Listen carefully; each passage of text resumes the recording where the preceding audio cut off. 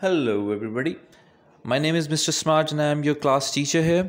And uh, I'll explain you what this website is all about. I welcome you on behalf of ClassTheta.com. This is an academic help resource material website which helps students to understand the better concept of their questions and understand the solution of their questions in a better way.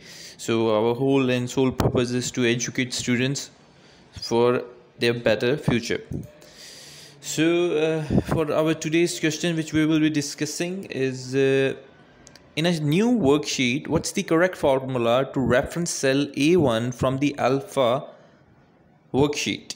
We have five options here alpha question mark A1, A1, alpha A1 slash alpha slash A1, alpha A1. That's the fourth answer uh, fifth answer sorry. The correct answer of the question is the correct formula reference cells a1 from the alpha worksheet is alpha uh, explanation mark a1 uh, which is the option uh, uh, d.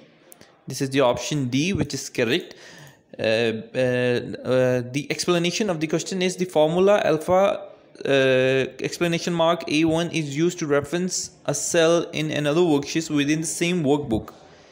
The explanation point is used to separate the worksheet name alpha from the reference cell A1. The formula will return the value contained in it.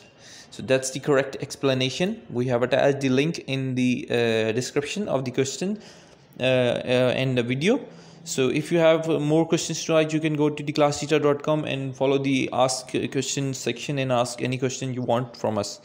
So uh, don't forget to like share subscribe the youtube channel and support us. Don't forget to share with your friends as well. Thank you. Thank you very much